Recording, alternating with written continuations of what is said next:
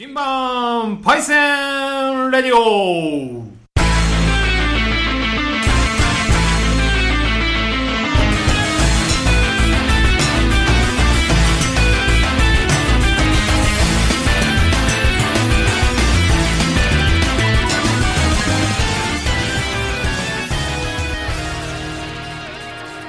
あなたが私のパイセンか。私があなたのパイセンか。そんなことはどうだっていい。今週も始まりました。人番パイセンレディオ。そして、この時間のお相手は、黒岩仁太郎です。この放送は、あなたのカーライフをサポートする、小座自動車の提供でお送りします。いい車あるさ FM 小座をお聞きの皆さん、こんばんは、黒岩仁太郎です。いやー、今日はですね、えー1月の12日ということでですね、あっという間に1月も2週間目に入りまして、早いですね。もう正月もね、あのー駆け巡るように過ぎた、過ぎ去ってまいりました。えー沖縄のね、えーお正月が過ぎて、えー成人の日といえば、えー今年も成人の日が賑やかだったということでですね、まあ、あのー若干ね、えー世間様に迷惑をかけた部分もあったとは思うんですけど、まずまず、あの、その、成人になったということで、あの、おめでたいことなんでですね、えー新成人の皆さん、おめでとうございます。それで、あの、これからはですね、えー二十歳になられたということで、すべ、全てが責任という言葉がついてきますんでね。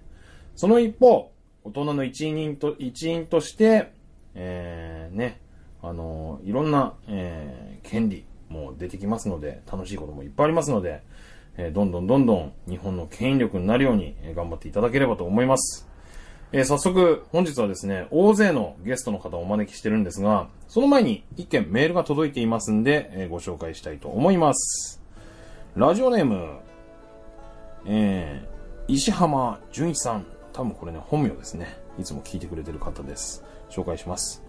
仁太郎さんこんばんは。はい、こんばんは。いつも楽しい放送ありがとうございます。先週の宮古島の放送はとても懐かしく聞いていました。えー実は昨年6月、10日間宮古島に行き、10日間行ったんですか？すごいっすね。えー、仁太郎さんと同じ場所で写真を撮って笑ってしまいました。あ、あの、守くんのとこかな？えー、思い出写真、えー、すぐに見直してしまいました。本当に綺麗なところです。いやー、でもね、本当宮古島って海が綺麗で自然がいっぱいあってね、一回行くと 2, 回、3回って行きたくなりますね。僕もね、すっかり、あのー宮古島の虜になってしまいました。えー、ところで、えー、話は変わりますが、仁太郎さんは、万丈愛ちゃんの曲をかけていただきありがとうございます。実は私、万丈愛ちゃんの大ファンで、僕もね、愛ちゃんの大ファンなんですよ。愛ちゃんの歌が大好きで、いつも聴いているんですよ。沖縄って感じの曲が多いですよね。その愛ちゃんが、あ、ここから告知ですね。今月25日は、チャタンナッシュビル沖縄で20時からライブがあります。え今月25日、1月の25日ですね。えー、チャタンのナッシュビルっていうところで、えーライブがあるそうです。私も25日、今年初沖縄に行って、えー翌日帰ります。すげえ強行っすね、石浜さん。えー、ジンタロさん都合が合えば一緒に飲んでライブを楽しみましょうね。えーぜひラジオを機の方もお待ちしております。どうぞ体などに気をつけていつまでも楽しい放送を続けてください。えー栃木県から愛を込めて、愛は、え愛ちゃんの愛になってますね。愛を込めて、石浜純一ということで、石浜さんメッセージいただきましてありがとうございました。また、あのね、放送楽しみにしていただければと思います。そして、メッセージの方もじゃんじゃんお待ちしておりますので、よろしくお願いいたします。えーそれでは、えー今回はですね、私が所属している、えタレントプロダクション、無限のメンバーが、え実はあの1月の22日に、えイベントをやるその告知があるということで、え皆さん大勢で、えこのスタジオに遊びに来ていただいてますので、えー早速紹介したいと思います。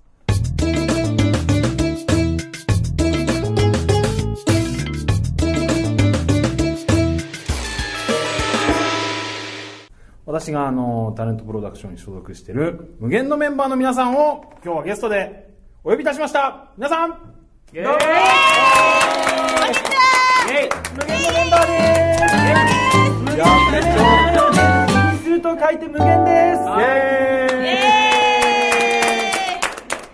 いいっすねありがとうございますありがとうございますじゃあまずは一人ずつ自己紹介をしていただきたいんですけどじゃあこちらのサンダーさんからお願いします、えっ、と、一応無限の代表をやらせていただいております。三段智明です。たまに役者もやってます。イエーイいいっすね、滑り気味で。ね、はい、はい。じゃあ次お願いします。無限に所属してます敦賀亮太ですよろしくお願いしますお願いします。はいはいはい無限で役者やってます阿部隼人ですよろしくお願いしますお願いしま無限さんに曲つけたりしてるサウンドクリエイターのコーディですよろしくお願いしますす。よろしくお願いします。えっと、無限の伊藤くすみです。はい。はい。えー、かわいい。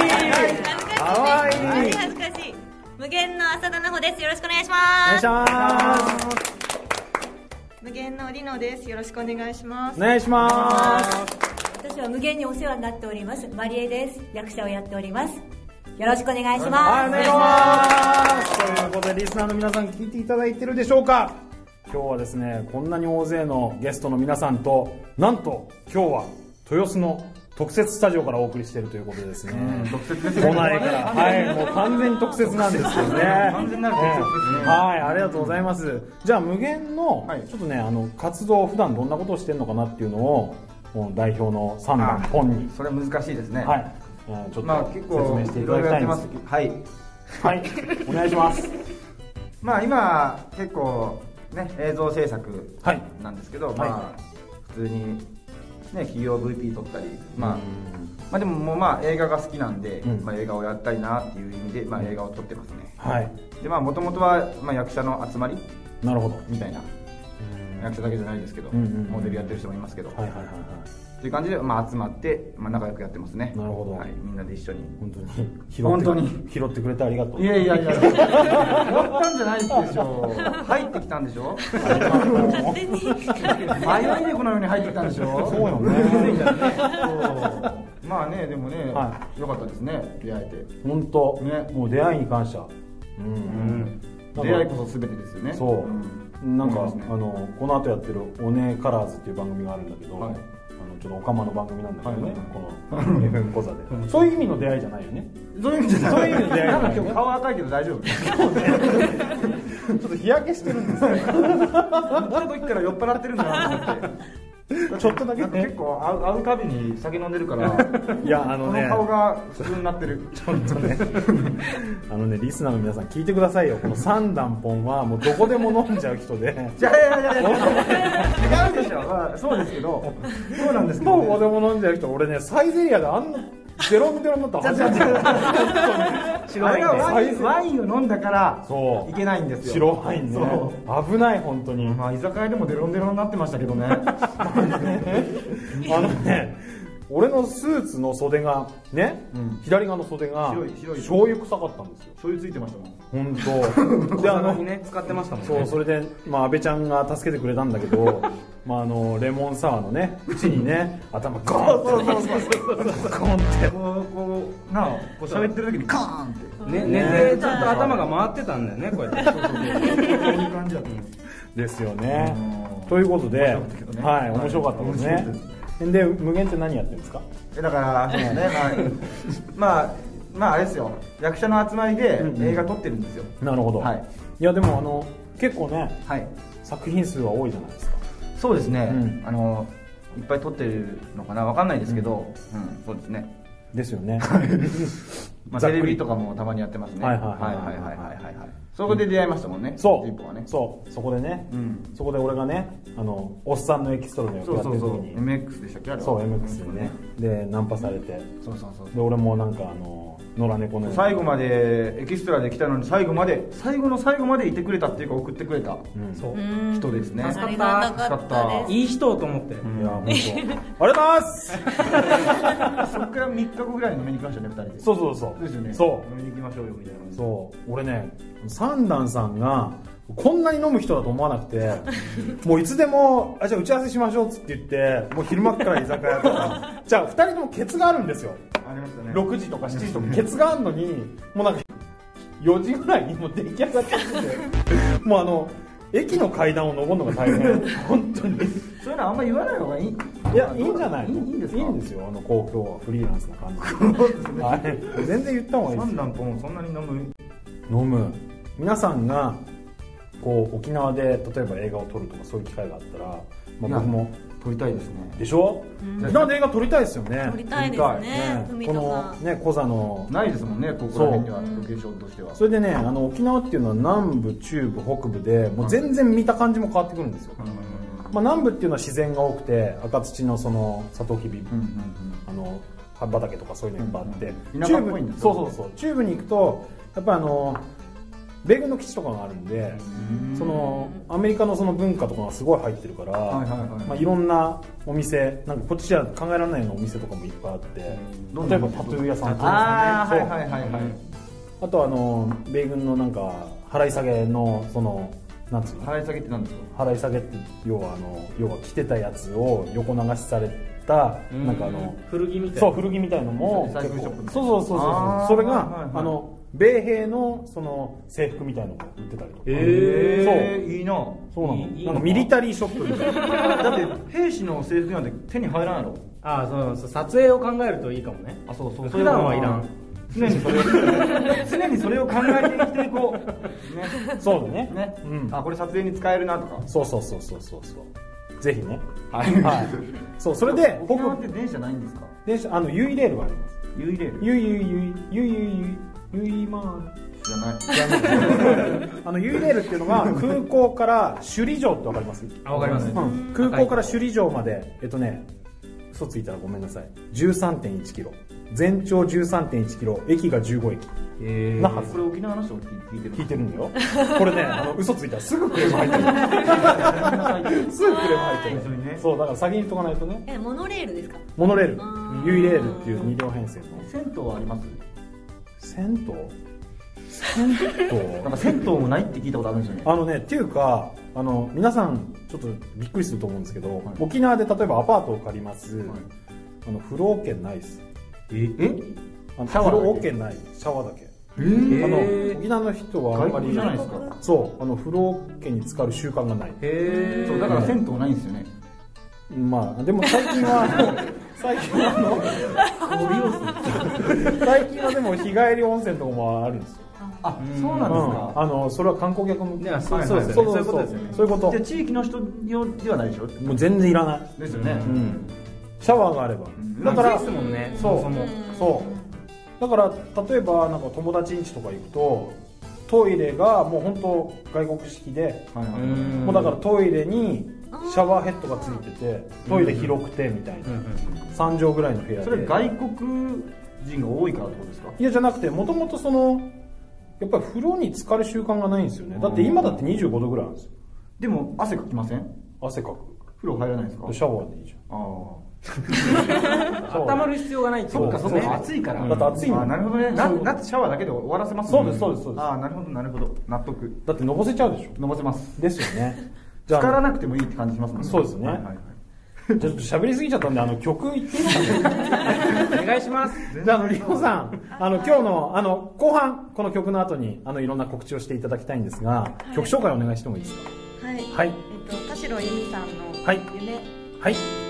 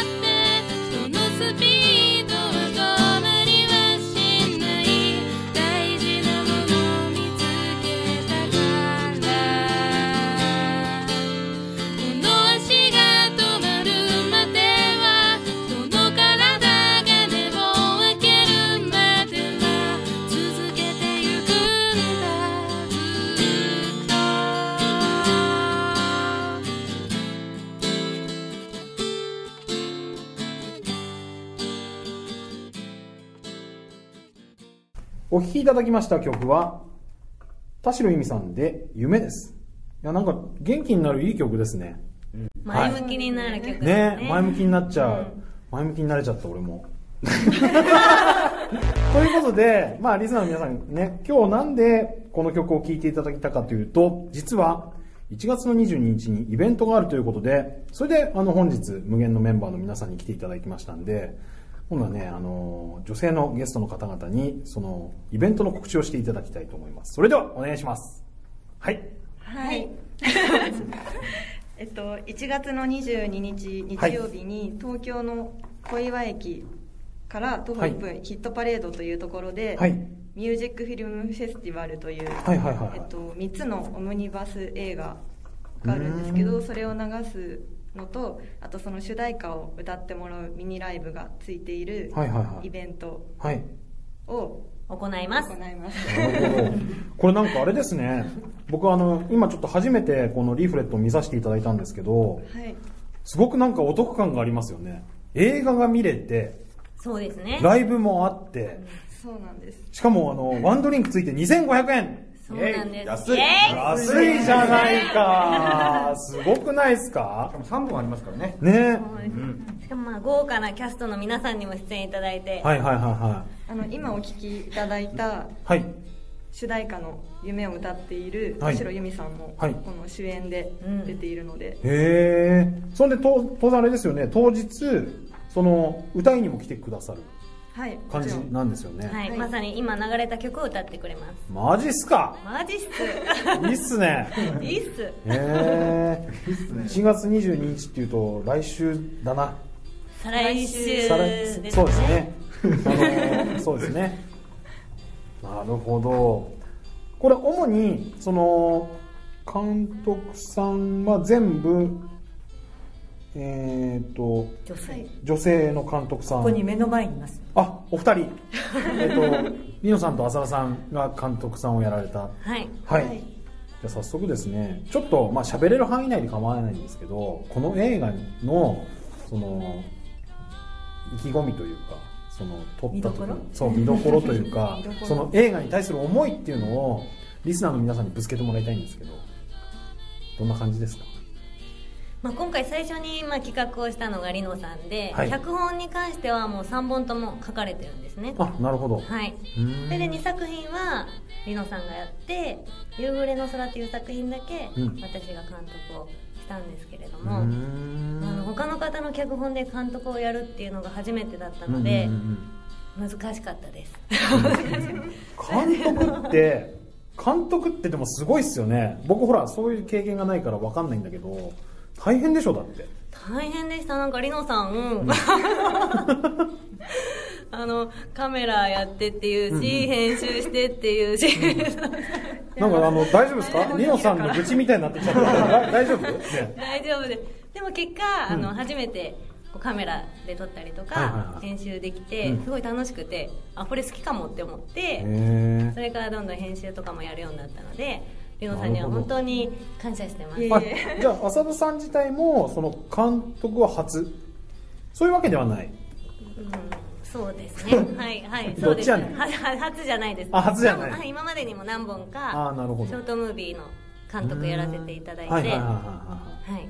へまあ、今までは自分で書いて、うんうんうん。それを他の人にカメラで撮ってもらうっていう感じだったんですけど、えなるほど。うーんそうなんですはい。ね。いろいろやったのは今回が初めてですね、じゃあこの三本の作品のちょっと見どころみたいなのもちょっと教えてもらえれえっと、ば。はい。羊雲に乗ってっていうのが、はい。あの一番長くてはい。60分あるんです、はいはいはいはであの夢に向かって頑張ってる女の子いはい。の話なんですけど、はいはいはいはい。それになんかちょっと恋が混ざったりなんかお姉ちゃんとの絆であったりとか、うんうんうんそういうのを描いてみました、うんうんうんうんなるほどですね。はいはいはい。あとの2作品っていうのは、あとはまあ、30分23分って書いてあるんですけど、はいはい。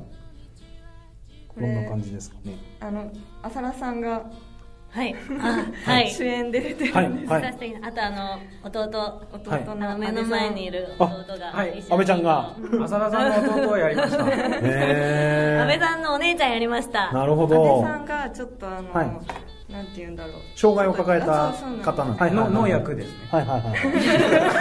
抱えた方の役をやった。の役をやりましたはいはい安倍ちゃんになるほど。はいはいはでなんか二人で不思議な世界に迷い込んじゃうみたいななるほど話なんですへでそこにあの神様がいてー。はい。ファンタジー。ファンタジー。ファンタジー。ファンタジー。ディファンタジーですよね。あーなるほどだいぶなんかジ、ブリな感じをイメージしてやりました